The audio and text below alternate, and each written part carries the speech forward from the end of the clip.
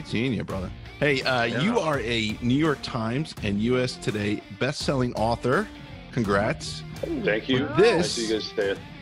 Assault by Fire is your first solo thriller. Why don't you give everyone a little background or maybe a little Okay. bit of a tease on the story? Yeah.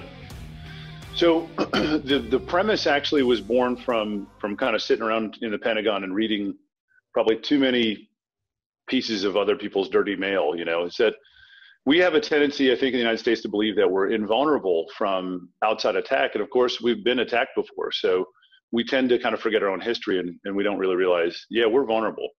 So the premise really is, when are we the most vulnerable? When is the United States at a position or in a spot where things really could go awry? if someone wanted to. And there are folks, obviously, on the world stage from from Russia and China that uh, really don't like us very much. I mean, you don't need to look much past the last election to see that. But um, they also, I think, have a tendency to jockey for position, and they watch us very carefully. I mean, if you're the biggest guy on the block, if you're the best uh, ball player on the team, everybody watches you, and and they're looking specifically for weakness. I think it's just a human trait to look for weakness. So, in the book, we posit three different weaknesses. Um, and they're really not very difficult to see, but they are very apparent to our enemies. One is if you are able to neutralize our strategic nuclear advantage, which you would think would be impossible to do. It's a long range missile system, it can really hurt. Um, if you're able to find a way to neutralize that, then by gosh, you know, you're, you can do some damage. So there's a Russian general, I'm sure we'll talk about him in the book, who has the duty of kind of figuring out what are these three, what are these disadvantages that America has? You know, give me a plan, as we do all the time. We're war planning constantly, as is Russia. And he comes up with these three things. One is we can neutralize the American strategic nuclear capability by moving in close with tactical nukes. He says, um, you know, we've got the ability to, uh, to if we can find a way to cripple the Second Amendment or get America to stop handing out weapons, uh, you know, to everybody, or at least find some way to to lessen that, then we've got less of a, a counterinsurgency fight, kind of on the back end of any invasion. Um, and uh, the the third thing is they say, oh, what is the third thing? I just forgot. We got nukes. Mm, help me out. Didn't you guys read the book? Yeah, something about was it is it the uh, naval capacity?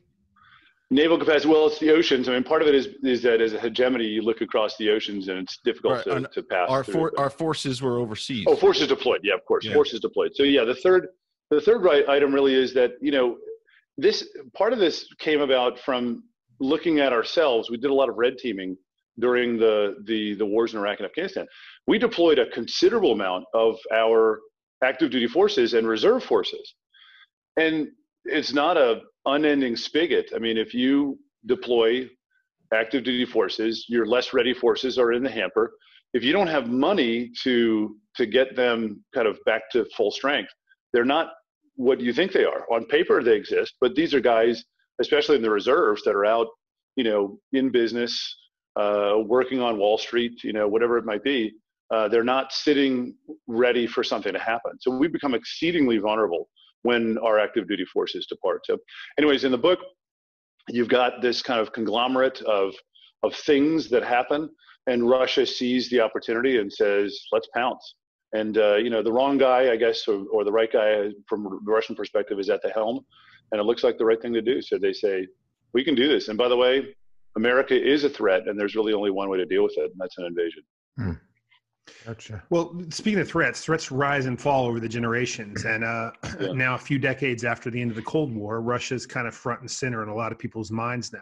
Yeah. But what specifically, eh, over the last two books and your collaboration with Mark and then this solo book, what specifically brought to Rip Rawlings' mind that the Russians um, are, are the most prominent threat? So it's that's a good question. So the first the first thing is the so you go through capability and will, right? So the two things that you kind of want to see from an opponent is do they have the capability to do something to us? Number two, is there a willpower there?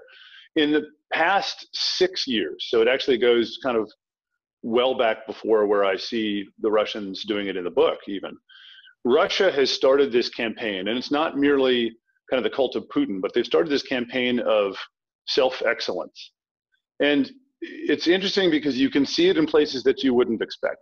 So they now have these very good movies out about their heroics in World War II. It's chest beating type stuff.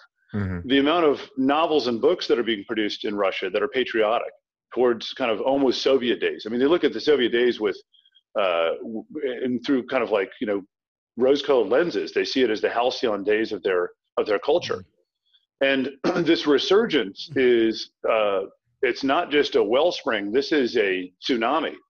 There is a whole culture in Russia right now that is exceedingly patriotic, and they're being fanned, or the flames are being fanned uh, by these books and movies. And so, can you say it comes from the top and that Putin is directing it? I'm not sure that he is 100%, but certainly the sentiment, the air of we're great and we need to be the number one superpower in the world stems from him. So mm-hmm. there is a bit of that. But uh, Russia, when you see that happen, I mean, the last time we really saw that happen was during the Cold War, and then the time we saw that uh, before that was uh, obviously just during World War II. So these very, very patriotic movements, in my mind, throughout history, hearken, uh, you know, big actions on the world stage. Hmm. Well, I have a quick follow up on that. Um, since we've kind of been through this dance with the Cold War, are yeah. you are you concerned that maybe some of the lessons that they've learned some lessons from the last time around that, that oh are- you got it no i mean sean you're right on it so not only have they learned lessons but they are in a lot of ways ahead of us on some of those lessons hmm. i mean you know the most i think the most elusive are things that are cyber so it's very hard for us to calculate what did they do and what is their purpose but look at the amount of tactical nuclear weapons that they've stockpiled. We have virtually none. Okay, so we we got rid of them. We said tactical nukes are not important to us. Maintaining them, frankly, was too hard. And so we erred on the side of strategic nuclear weapons, and we've been reducing those. People are kind of lost the visibility on it, but we've reduced strategic nuclear weapons um, egregiously over the past, you know, 10 or 12 years. Um, and I mean, you know, what is a good counterbalance of nuclear force? I mean, that's I'll leave that up to the people who who debate that on a daily basis. But we've certainly taken our stockpiles down to about 10 to 15 percent of where they were in its heyday, and uh, even in recent years, you know, we've reduced our stocks by uh, 33 percent. Russia has done like so they've done a, a, you know counter or reciprocal reductions. So on the world stage, they look you know very magnanimous, but tactical nuclear weapons they've done nothing with. They don't even, there's no accounting. And they've maintained them. And we hmm. believe that they've done that for one primary purpose, which is to keep the doors to Europe open. But that's where I twisted a little bit in the book and said, well, kind of the way that we deal with artillery in combat. I mean, the Viet Cong, um, you know, the Germans, every country that we fought have dealt with massive amounts of American artillery or close air support. And so their tactic has always been to get very close. The uh, you know, Ho Chi Minh uh, General Nguyen Giap, you know, propagated that belief and said, hug their artillery. Yeah. Um, because if you get too close, their biggest advantage is gone, and now it's te Now it's you versus him, and who's the better shot? Let's find out. So that's what happens, kind of on a much more strategic scale, is that the Russians take the tactical nuclear weapons and bring them up to our coast and say, hey, I'm going to neutralize your strategic artillery, so to speak, and I'm going to uh, get in right close and then hit you with tactical nuclear weapons that go completely below the radar. Oof. The other thing is, I think, um, you know, we've had our, our forces out there on the field for 20 years now, or just yeah. about. Yeah. Everyone's looking at our tactics. It's in the open. They can see how we're communicating, how we move our, our units and stuff. And so we're yeah. being studied. We are being studied. Yeah, no, no doubt about it. I, it's one of the greatest advantages of fielding your forces is that they get exercise. And I don't mean to sound septic in that. Obviously, going to war is nothing trivial. So when we send boys downrange, men and women downrange, it's a complicated affair. Uh, obviously, we've all dealt with those tragedies. It's not a good thing necessarily for the country. But it does do one thing. You know, if you were Julius Caesar or General Patton, it wouldn't matter. Both of you would say, getting your field armies in the field is what keeps your armies practiced and ready to go. And you bring back veterans, and the veterans kind of re-engage and re-energize uh, how you do war. But the big problem is you're in a fishbowl the whole time you do it. Mm-hmm. And so yeah. every other nation is going, aha, they did this, so let's do this next time, and they won't be able to do it. Or they just simply watch the enemy and say, hmm. But it's like 50 yard line quarterbacking is that you get an opportunity that no one else does. You get to see it from uh, from afar, and, and absolutely, Russia, China, North Korea, and Iran have been collecting on us. I mean, Iran and North Korea in person virtually. Iran, as you hmm. all know, we fought them on the battlefields. Uh, I can't tell you how many types of weapons that we took off what were erstwhile Quds forces directly from Iran. Yeah. So they're not only studying us, but they're actually engaging us, and they're doing it quite uh, quite well. Hmm. Well, Assault by Fire is your second novel, but it's really your yeah. first as as a solo effort. That's um, right.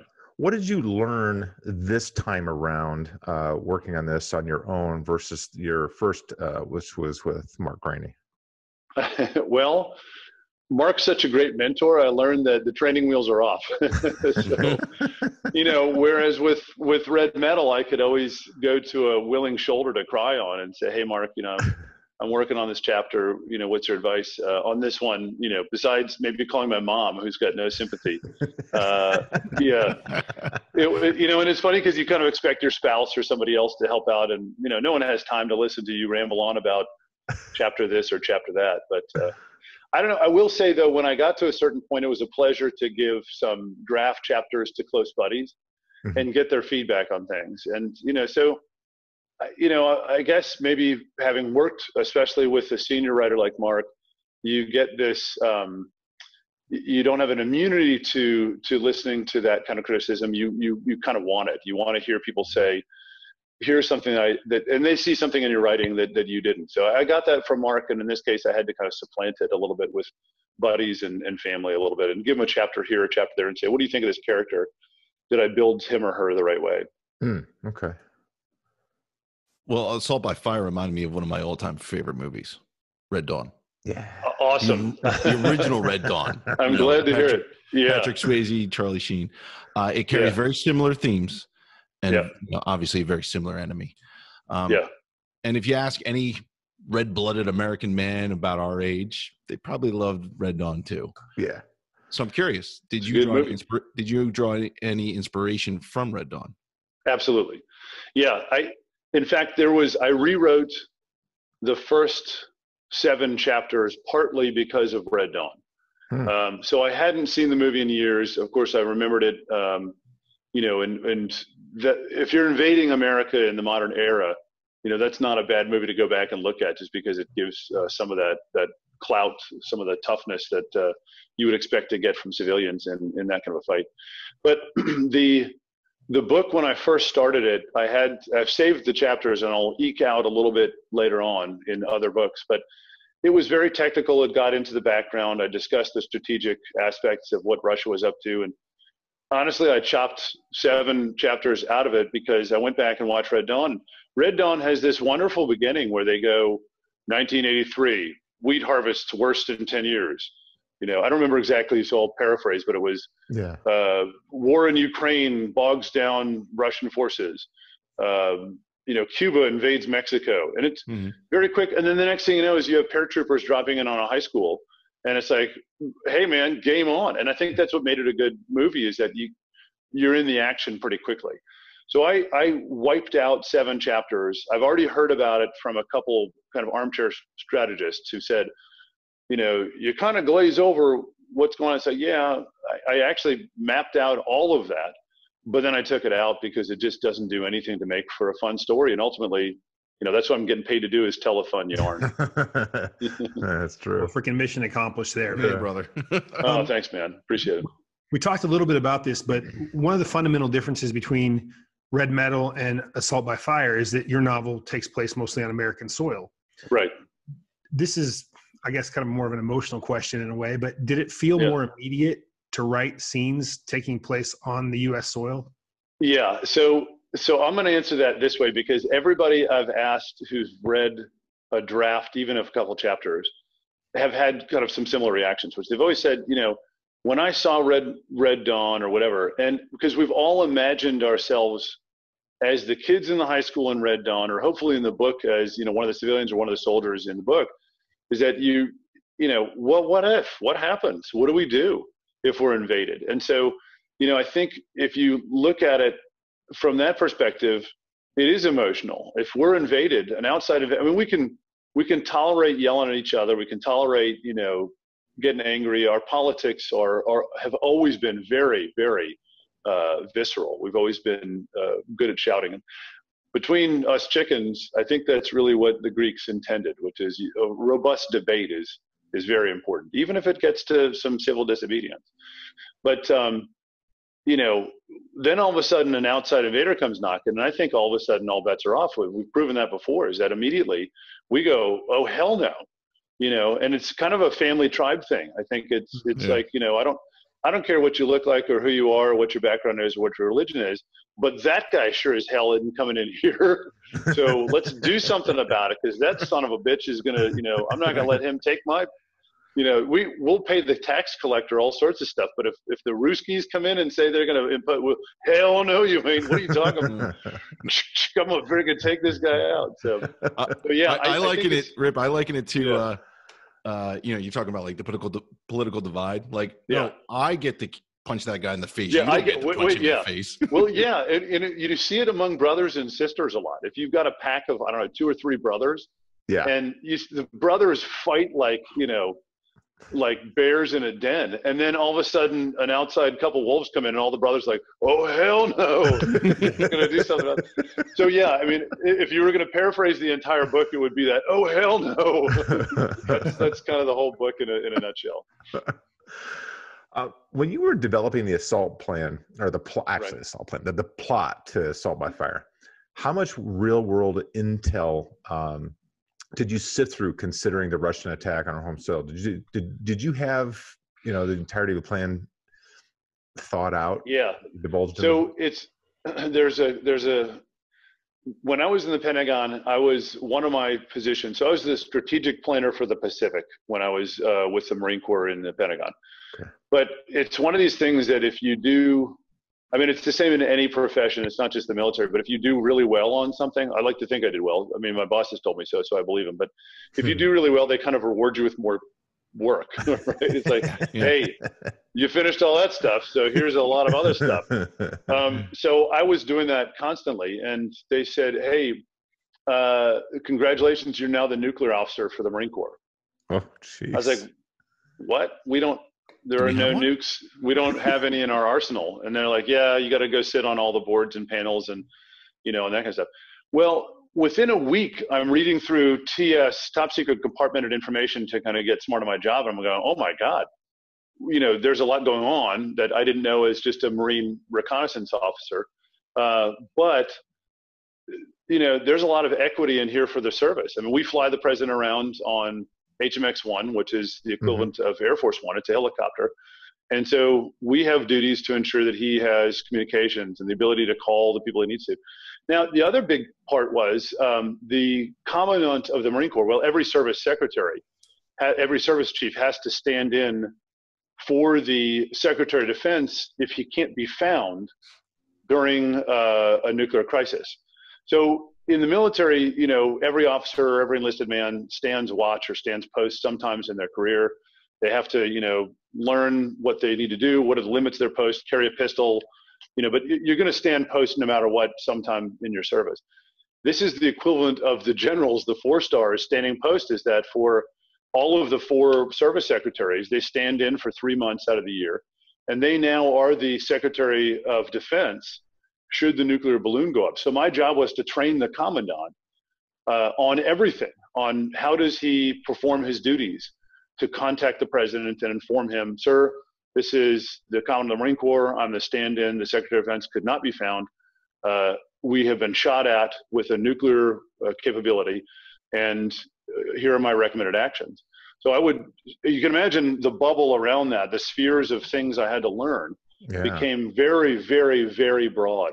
So to answer your question, finally, yeah, I had a lot of these things in the back of my mind because I saw them and did them, and then you kind of realize how fractious and fragile our empire is. You tend to think that you know we live in this kind of nice nuclear bubble, and the, the Pax Americana or the Pax, the nuclear Pax, the, the peace of, of you know mutually assured destruction is very fragile. And in some regard, it doesn't exist if you can find a way to neutralize it, and that's that's what I did in the book.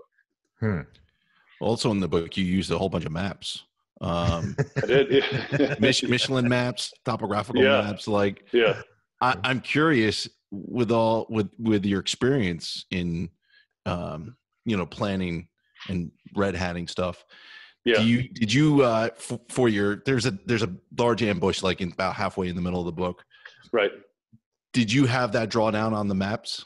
Did you have like did, these are the moving pieces? I did. I even I even have the maps, and I asked to have them put in the book. And my publisher looked at it, and goes, "This is really complicated." and I'm like, "Well, yeah." He's like, "I don't think anyone's going to understand it. Can we just turn it into like this blue arrow and this red arrow?" I'm like, "No, just don't worry about it." Forget You're it. like these these are the machine gun posts like here. Yeah. Yeah, and you know, you always have to figure out what's too much uh, for for your reader. Um, so hopefully, I had a good balance in there. I'm not sure that I did, but but you know, I also walk the ground. I mean, as a reconnaissance guy, my tendency is to really want to see things, and, and the ground really comes alive. So that area in West Virginia, we're we're kind of temporarily living in right now. So the kids, the school in Northern Virginia has all been closed down. So we've Oh, tell me about. We've well, we're we're adopted West Virginians right now. So we're building a cabin up in the area, kind of where the the book takes place. Uh, I just got back from bear hunting up there uh, just a weekend ago nice. with the kids and everybody. But uh, you know, we're making it a homestead. It's a it's a beautiful place. The valleys and and rivers and tributaries up there are absolutely stunning. And I mean, it's a it's a very picturesque place to have a battle. yeah. Hmm. So, so yeah, I've walked over all that area. In fact, I've been hunting over that area quite a bit, and it is it, it it is everything that I've said it is in the book. It's a fascinating area. It is a it's a humble area, meaning you know you don't run into a, a lot of West Virginians that are you know working at high tech computer firms, but you will not find nicer people, I think, on the face of the earth. Yeah. I lived in Charleston when I was a kid. So Oh yeah, yeah. Yeah. beautiful, I- beautiful area. Yeah, for sure. I I always my family's well, on my dad's side's from the south, and um, when I was a kid, actually, when we were younger, my dad said, "You will never speak with a southern accent because everybody will treat you like an idiot." so, so we we lost our southern accents early, but I could feel it coming back up in the hills in West Virginia. It Yeah, peaked yeah. out, and everyone's like, "Oh, where are you from?" And I'm like, "Oh, I'm from the Tidewater area down in Norfolk," and they're like, "Oh." And then my wife's like, "Where did that come from?" I'm like, "God damn it. Dad told me not to do that. Gotta survive. Flared. well, it's you know it's still there. It's I, all of my cousins. Every time we go back for our summer reunion, we were the the cousins who, you know, even though we kind of moved around a lot, we moved out west, which to them was like moving across the Mason Dixon. They're like, yeah. what what happened? Where is your accent? Where are you got? Who are you guys? We're like, well, we're Coloradans now. You're one of them now. Yeah. Yeah, My wife yeah. always tells me when when I, we go back and visit family in New Jersey, she's like, "All of a sudden, you sound very New Jerseyan." Yeah, yeah. I'm like, "What does that?" I just mean?" don't want to do. I don't want to be like Madonna, where all of a sudden I like this British accent Yeah. pops uh-huh. out, and everyone's like, "What? What are you doing?" That's But really it's- wrong. Well, it's funny because even in our family, as much as we try to conceal the Southernism aspects, you know, just verbiage and that kind of thing, we still say in the family y'all, and there's a lot of those things. But my grandmother and grandparent, my, both my grandparents on my dad's side had the most beautiful Southern accents you've ever heard. My grandmother spoke with that kind of syrupy, you know, uh, deep Southern drawl. She'd say, "Well, Rip, isn't it wonderful to see you?" You know how everything is drawn out like a mint julep on a Sunday on the porch, you know, in, in, in May in in the savannah. So I don't know. I grew up with all that, and it's funny because every time I go back for our family reunions, it's all there, and it's it's in some ways, you know, that's a uh, it's a bygone era because that accent I don't I don't hear that anymore the way that my grandparents spoke. Yeah, true. Circling back to the book, Tice Asher. Get back to the book.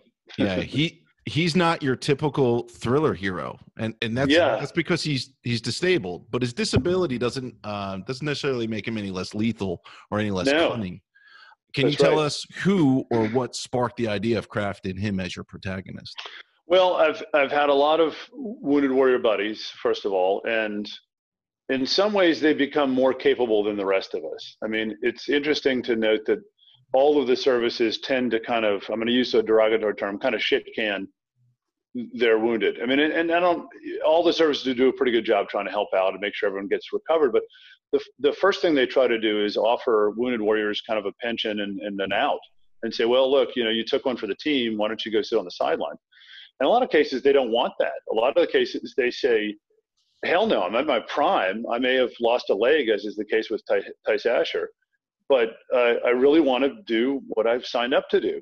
And we don't always have good positions for them. So, in some ways, the book was born from that also, which is what if we had wounded warriors who, you know, we did try to, to do the things that we know that they can do. But yeah, Tice gets his leg blown off very early in the book, so I'm not revealing anything there. But he um, he then has to deal with the disability. So immediately he is called up in front of what's called a naval medical board. And for my friends who've been through it and having seen them and been on them as a board member, they're awful.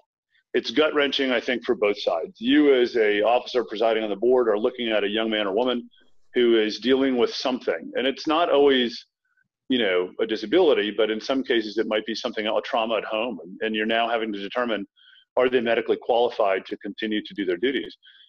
More often than not at the height of the war we said no. And we said look we've got this wounded warrior regiment uh, we're going to stick you in it for a while to recover but you know we're fighting a war so we got to get back to the business of doing battle so Tice is right in that and he he has this moment where he has to kind of fight the board in person and the board is not all that understanding. They're pretty tough on him. And so he says, you know, keep me in, coach. Right. Well, and and to follow up with that, have you? I mean, you were in you were in the Corps long enough. Has yeah. has the has that process improved? Or? Monumentally, monumentally. Mm, yeah. Okay. I, in fact, in some ways, you know, so I even made note of the book that it was around the 2006, 8, 10 time frame. You know, where we so 2006 we started this upward trend of taking care of our wounded better 2008 again and 2010 again so we're on top of our game right now and if you were if you were wounded in combat or if you are still wounded in combat i think it's now it's better than it's been in any other conflict in our time as a nation yeah and i can't imagine how heart-wrenching that is for somebody who still wants to serve active duty and it's awful yeah right. i had a corporal who was well i won't mention any names but he had his leg blown off. Uh, so in some ways, maybe he's a you know uh, an inspiration to the character. But um, he wouldn't quit. They gave him two legs. He was determined that they give him a running leg, you know, a racing blade, one of the curved blades, mm-hmm. as well as a regular prosthetic. And years later, he and I were stationed at the Pentagon together. So they gave him a lot of admin duties afterwards. Yeah. And he kicked my ass on runs. He would be like, "Sir, he'd be, I mean, he'd at least twice a week. He'd be like, "Hey, sir," he'd come by the office because uh, we're both stationed in the Pentagon. He'd say, "Hey, sir, you want to go for a run?" I'd be like, "Yeah, let's go." And we'd go out, and he would just drill me. He'd put on this blade, and but he was phys- he was fit as as a fiddle. You know, here I am, a guy, you know, pushing his mid forties, you know, doing pencil stuff after being downrange for many years. I'm a broken man, and uh, he's he's inspiring me on a on a daily basis because uh, he's way more broken than I was, and he didn't let it affect him one whit. So, you know, I think not it, the, the it's the kids that we bring in oftentimes that that overcome their disabilities just because they're that kind of kid. You know, they're that, yeah. they're just they're amazing inspirations to all of us to begin with. Something right. special. Yeah. Well, likewise, your antagonist, um, Kolokov, is a very, yeah. very fascinating guy, and yeah. and one of the things that I like about it is that you know the, he, the villains are always heroes in their own stories if they're yeah they're good villains, and he's right. a, he's a patriot in his in his. He is. Um, yeah. What? How do you go about creating that guy? How do you go? Is he based on people you've interacted with, or or is just? Well, a little bit. So I mean, Kolokov's a little bit of a careerist. I mean, he really just he's kind of very enthralled by his own advancement, um, but he also hits this awful roadblock, and it happens directly in the beginning of the book. And immediately in the beginning of the book, he's at the top of his game. He's a rising star. He's one of the Russia's youngest full bird colonels. And so he's like, this is it. He's given an office in uh, a terrific old palace, one of the old czar's palaces that's out in um, uh, not uh, Leningrad, but uh, I'm forgetting my book scene. Let me see. It's okay. What's the port city? Edit this out anyways, he's given this wonderful, he's, he's, given this fantastic office, uh, you know, kind of overlooking the water. You can see the Fabergé Art Museum, uh, you know, and so he's like, this is it, man. And then he gets handed this, this next task. And the task is to take charge of their units, his headquarters, uh, parade and and what they're going to show for the May Day parade. And if you know anything about Russian history, May Day, the the Victory Day, is the celebration of their victory over Nazi Germany. Right. And they really do believe that it, it was if if not for Russia, the world would have collapsed. So they have May Day parades like you've never seen before, and they, you know, Putin is out in front and he's doing the dictator wave, and tanks are going by and missiles are going by, and um, you know, so he's he's put in charge of this. But then they tell him the biggest thing that they have right now is is this computer. And he's like, "What are you talking about?" Like, well, we don't have anything. We've got a computer. And he said, "Well, let's march all the cooks and the bakers and the candlestick makers, but let's make something of it." Well, he's set to give a presentation about it, and obviously it flops. And then the next thing you know, he is not just fired, but he's sent to Siberia. Um, he assumes that that's it, and he's he's kind of put up against the wall with a bunch of traitors. Uh, and his new boss does this kind of fake assassination on him to punk him out and see what he's worth, and then uh, takes the the hood off of him and says, "You work for me now, and I want to see what your computer can do." Hmm. And so this new boss, I think, if you were to, you know, the, the new boss is named General Timkin, and General Timkin is one of these characters that I think we may have, all of us have probably encountered maybe once in our life. He is abjectly abject evil. He just he has no good qualities. He is there to push everybody to do things that he wants them to do. Is very very good at doing that. And so that so Kolokov in some ways is a a bit of a tragic figure. Hopefully, most readers are kind of like, God, poor guy, yeah. because he, yeah, he's obviously the brains and he knows what to do, Kolokov, but uh, he's got this overlord who, who truly knows how to make things work and is not going to stop.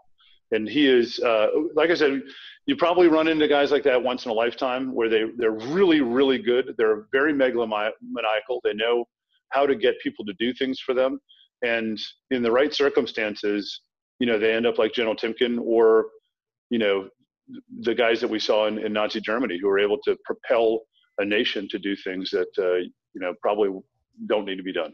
Right. Well, can you can you talk a little bit about that that computer? Uh, yeah. Spetsviter? Like, what so, was yeah, that the all Spets about? Forum. Well, the Spets Four is a special. It's I'm gonna I'll mangle it in Russian, but Spetsnaya Machina. Oh, I'm gonna screw it up, but it's it means special invasion calculating machine. So it. Uh, Hmm. Can you hear me? Yep. Yep. Yeah, we're yeah. oh, okay, sorry. I thought I hit the button there. So it, it really what it means is is and we have these also and it's a it's a tactical or sorry an operational computer and the intent is you Hmm. put in variables the Russian call them permanyaya and it's you you let it you test it to see what is within the realm of the possible for logistics for uh, you know everything down to combat operations we have a number of these it's interesting to note that Russia has just purchased I'm going to mess this up too, but so don't quote me exactly. I think it's 16 petaflop uh, computer. So if you think of Wow. you know gigabytes and terabytes, and now you're up Nice. to what are called yeah peta, petaflops. So they just purchased one of the world's fastest computers, and it is going directly into uh, Moscow, and it will. It is basically this the Spets Four. Its job is to is to calculate variables and how to win wars. Remarkably, they do very well. Again, the seven chapters I eliminated. I went into some little more detail on this thing. I'll eke it out in other books, but I mean, suffice to say, this thing is a supercomputer with Kolokov helping it, and you know the driven furor of uh, his boss, uh, General Timkin. You have kind of a perfect storm of computer plus man plus leader. Um, so, so the computer itself, it has a portable element. So when they bring it over, when eventually the invasion happens, uh, Kolokov brings part of it with him, Mhm. and it helps them determine what works and what doesn't by punching things into to the computer. Hmm. Well, w- since a lot of writers watch this show, we would be remiss in not asking at least one writing question. Um, we, we've chatted in the past about your word count and how pissed off you make all of us. How you crank out a few thousand words in your average writing day. yeah, But what do you they're think? not always good words. So yeah. what do you think the key is to being so prolific on a daily basis? Um, is it the ability to Hmm. pause the internal editor, or is it something else? Oh, that's a good question. Um, I, you know, I think part of it is is that you have a story that you can't. It's just exploding to get out. I mean, I for me most of the time it's it's a volcano, so it's it, I'm trying to put a tamper on it to try to stop Mm. some of it from coming out. And when I sit down to write, you know, every aspect of it sort of seems to come alive in my mind.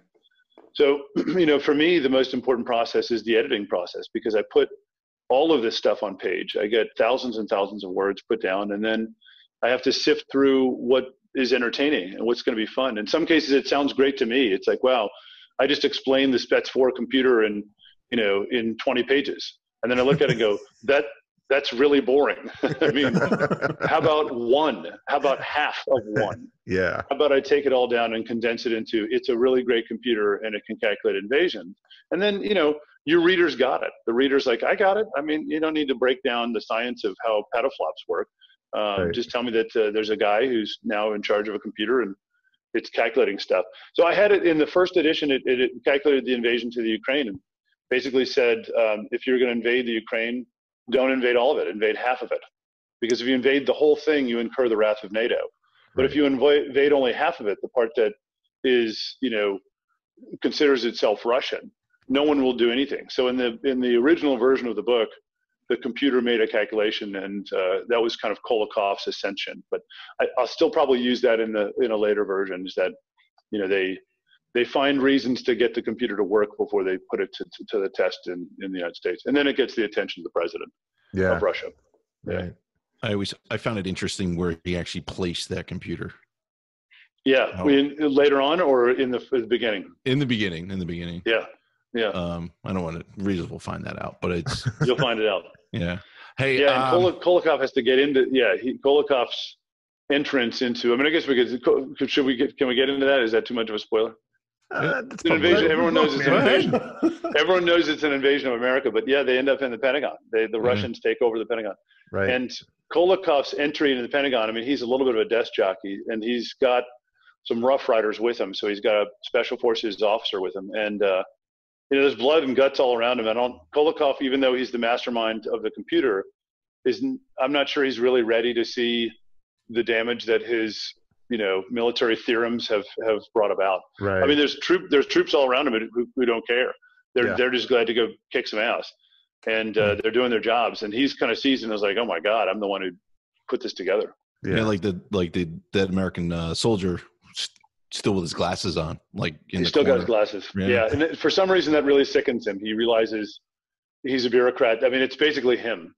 You know, in Hmm. some ways, this is kind of like the Darth Vader thing, where you look in and then the what is it? Luke goes into the forest and the mask Yeah. comes off and it's him. Yeah. it's him. So he looks and see, yeah, he looks inside the, the basement of the Pentagon, and, and there's a guy across the way with a with his glasses on. And he's like, "That's me." Yeah. Yeah. He- well, he's he's very human, and because then at He some is, point later yeah. on, he like he has to run to the bathroom so he doesn't He's gotta- up in yeah. front of everybody. Yeah, he's, you know, in, in some ways he's kind of a an unrepentant wimp. I mean, it's it's, you know, he is he's very good at what he does. He's clearly got a knack for kind of you know putting plans together. That's really, and he is the counterpart to uh, he is the the antagonist to to. Uh, our action man. So Tice Right. really is is you know, and in some ways I think that's something else I've learned from writing is that if your protagonist and antagonist are exact equals, you kind of have a, a superhero novel. You know, you've got Mr. Bad versus Mr. Cape Crusader. I- don't know that that's very exciting in a literary sense. I mean, it's great on the cinema screen, but I'd rather read where you know they're not equals really in capability and and and that kind of thing. I mean, Kol- if you sat Tice in a room with Kolokov, Kolokov would run operational circles around Tice. He's a very smart man. He understands how to put the plan together. So in a lot of ways, it's Tice versus Kolokov's plan.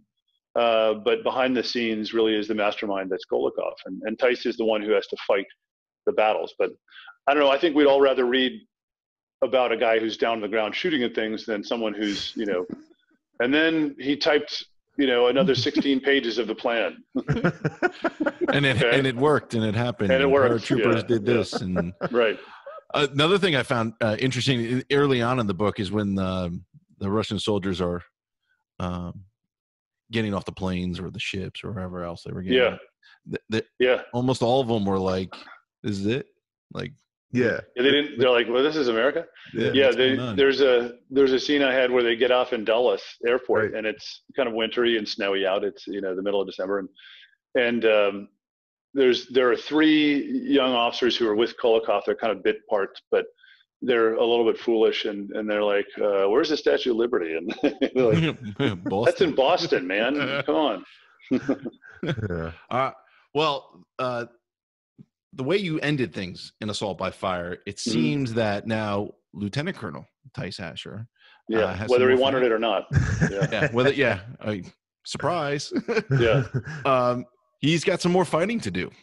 He's So- got a lot more. Yeah. Are we going to see a sequel next year? We will. So the Kill Box is the sequel. Uh, it's already. I'm in the middle of it. I'm, I'm past the middle. It's due in December, so I better be past the middle. um, but it's uh, it is the sequel to this one, and you know, I- mean, I think as I've learned, the sequel is going to have a continuation a lot of things, but it's going to be its own standalone. So you could pick that one up without having read this one, and you'll still be able to kind of run right along. But I'll I'll keep the the same characters. I did do in the kill box. I have introduced a new protagonist, and I've tested the protagonist out on a few test audiences, and they are so angry. They're like, "You kill this person before the end of the book, right?" And I'm like, "The fact that you really want him dead means that it's a great protagonist. Because if you hate this person so badly because of their actions and what they do, then then I'm I'm doing okay."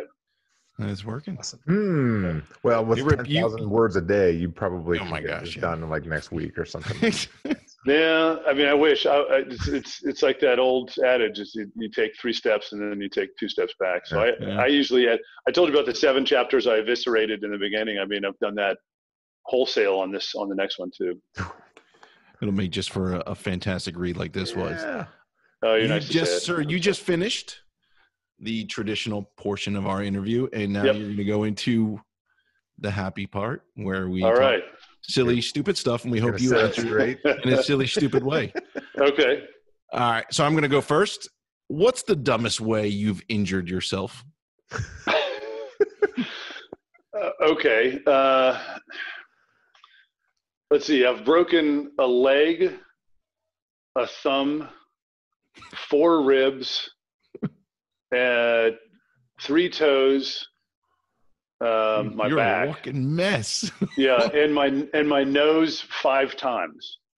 And so the dumbest way was i was reaching to pull my kevlar helmet out of the overhead onboard ship for a, a disembarkation. We were attacking a beachhead. We were going to assault a beach. So i was pulling the gear. It was zero dark whatever and i hadn't had a full pot of coffee yet. And i dumped the helmet. Uh, the whole my whole kit came down on me and the helmet landed on my nose so i ran down to the the well deck uh, with this nose out of joint, crushed and bleeding, to make it onto the boat on time. And everyone's like, "What happened?" I'm like, um, "I think I just broke my nose." Never mind. just pack So it. I, yeah, no, that's right. I assaulted the beach. I mean, the corpsman came up. He put an ice pack. He had one of those, you know, ice packs that you just break the plastic and it Yeah. freezes. And and so I assaulted the beach with a with a broken nose. Well, the corpsman was excited. He actually had a real injury that he could Well, actually. yeah. yeah, it was. I don't think he was too excited that his lieutenant was broken before he'd even hit the surf. Beach. Like we we hadn't even hit the the surf to get to the beach yet, and he was like, "Sir, how dumb are you?" I'm like, "Well, Omar Bradley, you are not. yeah, exactly." Yeah. Uh, Uh, all right, question two. If you could breed two animals together to Yeah. defy the laws of nature's, Oh, what new animal would you create? What new animal? Um, I mean, the Wolverine already does that for us, doesn't he? I mean, you know, if we're talking pretty about. Red Dawn, good, actually. if we're Wait, how can about you Red make a Wolverine everything- more more badass? That's what I mean. Is that it's already so so you know, God, the powers we've already had the animal hybrid, and it's the Wolverine. It's that that little thing can can kick some butt. So it doesn't get any better than that. Platoon Wolverines. Wolverines. You hear that, Sean? Wolverines, I that. Wolverines. That's right. Uh, and here's my last one. Did you base any of the characters on a, uh, in Assault by Fire on Mark Greaney? no, um, Was there one in there that you thought was a Mark character? No, No, I just we're I, I trying to get wanted some inside maybe scoop. yeah. I don't know that I don't know that Mark would forgive me if I did that. He'd be like, "Why am I in your book?" Um, uh, yeah, uh, Don Bentley has a character whose name is Rawlings in the beginning of the book, and he and I, you know, have known each other for a year and some change, and I haven't asked him about that, but it's like it, the, the character is, you know, in his book is kind of a tough guy who uh, I think he's like a, a border control agent or something like that, and he ends up in this wrestling match on the ground. And I'm like, was that was that me? am, I, am I in your book, Don? so I don't know. Find out. Hey, Sean, you're up. Yeah. All right. Well, on page 300 or so of Assault by Yeah. Fire, a Marine named Cameron is listed as one of the K- KIAs. Yeah. How, how do you die? Aw.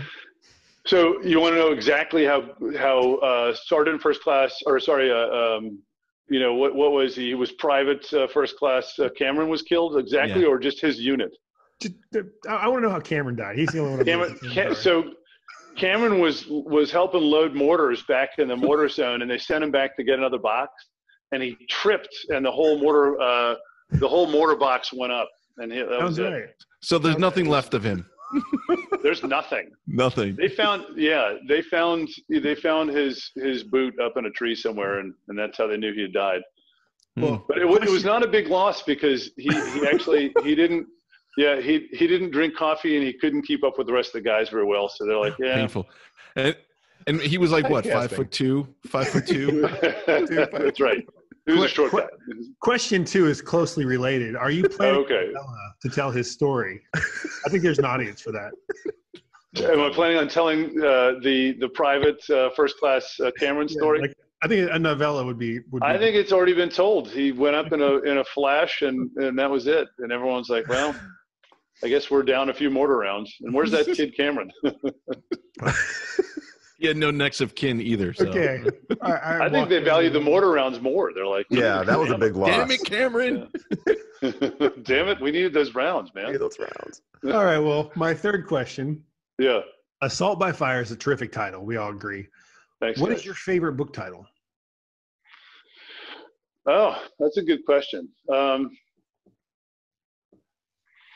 I don't know. I'm overly literary, so I, I, I like some of the titles for, you know, there's a lot of German novels that I've read. Uh, you know what I've gotten into is, have you seen the Babylon Berlin series or read the books I just by started uh, watching it. by Yeah. Kutscher? Okay, yeah, his name is Volker Kutscher, and the guy right, it's it's gumshoe stuff. So if you know, we're talking primarily you know military thriller stuff. So his is a different genre, but his is all kind of um, you know that that almost film noir period. You know where you have uh, like The Big Sleep or um, Mhm.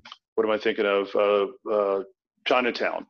Yeah. So it is. It, it's fantastic stuff turned into an even better, in my impression, a miniseries on uh, Sky One, which is the German, the European uh, channels.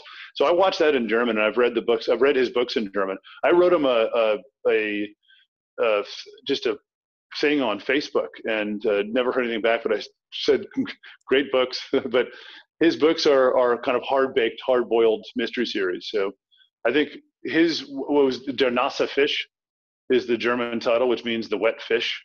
And I don't know, something about its title going along with the the theme of the book is fantastic. And then Babylon Berlin, obviously, is how they changed the title of the book, but very neat. Awesome. All right. Well, uh, let's see. On a scale of one to infinity, how's your Uh-oh. hangover today? well, it's it's funny because um, my wife had to fly out early this morning, and she drank all the caffeinated coffee in the hotel room. Damn. So I went into this morning like, oh my gosh, she left earlier than I did because her flight was there. She's she's a doctor and she's practiced up in DC, so she had to get back quickly. But um, so I I reached into the little cubby where they've got coffee, and it was all those, you know, I mean, guys who drink a lot of coffee, you can recognize a decaffeinated thing. So you know when you see green lettering on the front of any hotel coffees, you know immediately it's decaf. So I'm like, oh, decaf, no, decaf, decaf. Decaf, decaf. Oh no! She stole all the caffeinated coffee. if anybody doesn't know, Um, Mark Greaney, uh, his uh, previous partner, got married last night, so it looked like a pretty good time. we had a fantastic time. Yeah, the All wedding right. was, was thrilling. Number two, What is the best food to eat for a hangover? Gator tacos, apparently. Gator tacos, they Yeah. work. We're here. We're here in Memphis, and uh, staying, as I mentioned, at the Big Cypress Lodge. If you can see the sign back here. yeah. What a neat place to stay. The uh, they've served gator tacos downstairs. They have a setup down there that looks like the bayou. There are there's a swamp. There are there are gar fish that are about ten feet long. They have Jeez. alligators. They have um, fish feeding, and of course, you know, as all Bass Pro Shops do, they have these great stuffed animals all over, and and uh, and a fantastic shop and boats. I mean, guys that like to hunt and fish as I do. Um, I went bear hunting two weeks ago, and so just looking at gear. I mean, some guys get into golf, I think, you know, and they like, Yeah, sure, sure. you know, yeah, they like the shoes that tell, brag to their buddies. Hey the man, I just got driver. the yeah, I just got a new putter or whatever. Yeah. But hunters get into that, you know, hunting gear, and fishermen get into the bass boats, and so you know, for me, walking around down there is amazing. So that that was part of, that's part part of my hangover cure is is seeing all that stuff. what can I get back in my suitcase? All right. Yeah, yeah. My last question is this: When Mark, when, when watching Mark Greaney dance, it's like Yeah. watching blank. it's like watching Michael Jackson in his heyday. Mm, don't believe it. no, you know what's funny is Mark. Uh, my son was so we got our kids down here, and my son was the star of the dance floor. And Mark came over and was like, "Where did your kid get? I mean, he's got some moves. All the girls, you know how." There's always a bevy of beauties at, at a wedding, and Yeah, Mark's sure. uh, wedding, Mark's wedding to Alice. Alice is a beautiful lady, and she's got all her friends there, and so there's a bevy of beauties out on the dance floor. In the middle of them is my is my son, who's eight, and they're all dancing with him. They're like, "Your son is the greatest dancer." I'm like, "He didn't he didn't get it from me. Look at his mom because I can't dance at all." Kids. I don't know. The better game. question would be the better question wouldn't be what did Mark look like on the dance floor? What did what did Rip and Brad Taylor not look like? Brad uh, Taylor is here, by the way. So Brad Taylor is down, and Yeah. he and I we were telling uh, war stories, and boy, he's a what a great guy. I tell you, he's an amazing American guy. as Yeah, well. yeah. We love him The too. greatest thing about Brad is if you you know if you read his books, you know how well he can write. right. But then if you get to meet him in person, you realize he's lived 90% of this. He uh, he's Mhm. just fun to talk to. I mean, he's had a lot of war experiences and a lot of just other experiences. So I don't yeah. know, it was a neat it was a neat conglomerate having me and Mark and uh, and Brad and everybody together and our wives and kids and stuff. So I don't know. I, I got to keep an eye on my son. He apparently stole all the girls' hearts last night. So we got to keep we got to watch out for this kid. I have one like that. I um, we went to Boston and there was the street dancers were doing something, and, and my younger Yeah. son could break dance and hip hop dance and all that stuff when he was like oh, eight, nice. Eight or nine too. Yeah. And so he ended up getting in a challenge with some 25 year old guy from Canada, Oh my gosh. and all the all the guys that were dancing started calling him White Chocolate. And they were like, "White Chocolate wins! White Chocolate wins!" Uh, and since That's then we go to awesome. weddings, and it, now he's he's 20 now or 19 now, but uh, but yeah, all, all those years. You, Can he He's still dance? Is he, he- he's he still a just- pretty good dancer. He's still, yeah, he's still a great dancer. He just doesn't do Yeah. it like he used to. I, at what stage? At some stage, you grow out of that. I think at some stage, you know, you're you're not as good. Maybe it's 13. yeah. Well, yeah. 13, once you hit, yeah, you get a little gawky. It's definitely in your 40s too. With definitely, yeah, it's definitely enforced. I think there's a there's a period in your life where you just don't care at, at that age, and you get on the dance floor and like, I can go. I'm I'm having the time of my life, and everybody loves me, you know. And then you get like in your 20s, and you're like, I look like a moron. I need to get off the dance floor. Some of us stayed that way the whole way through. That's right. Yep, I'm one of them. Well, Rip, you're uh, once again, dude. You're an awesome guest. You're Oh, an you awesome guys are great. writer. Thanks for Uh, having me. So, Assault by Fire. Cheers. Not only sir. is it is it technically cool, but it's a really fun read, dude. I love Oh, reading thanks, this book. Chris. I appreciate Yeah. it, guys. This was fantastic writing, and it, it, you wouldn't know that this was your personal debut. You know, Oh hell no! as an No. individual thanks, writer. guys. This reads like somebody that's been doing it for like 10, 15 books, easy. Well, I, I got a lot of lot more roads ahead, but uh, it was a pleasure to write, and it's a lot of fun, and I'm I'm excited to keep going on with the series. I mean, I, I pitch again in December to. Uh, We'll see who I pitch to, but we're going to pitch another series in December. So I'm going to keep this one going. Uh, we've got Red Metal 2 coming out in less than 18 months. Oh, and really? then uh, I've got another series that we're going to throw up and see what happens. dude. This you was my are, uh, this was my favorite read of 2020 right there. Oh, Mike, you're the man. Appreciate that, guys. Seriously. dude. You're awesome, Rip. We're gonna raise a glass. Cheers to you guys. Thanks, To the bud. See you, pal. Thanks, fellas. Absolutely.